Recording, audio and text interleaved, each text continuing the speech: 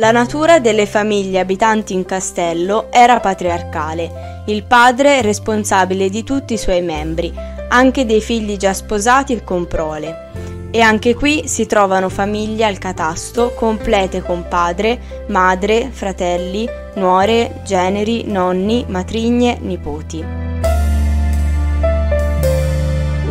Di qua da Sterza è un bagno sulfureo freddo chiamato della costa al bagno. Ei puzza molto di zolfo, particolarmente il suo loto viene usato con profitto per la rogna ed altri mali cutanei.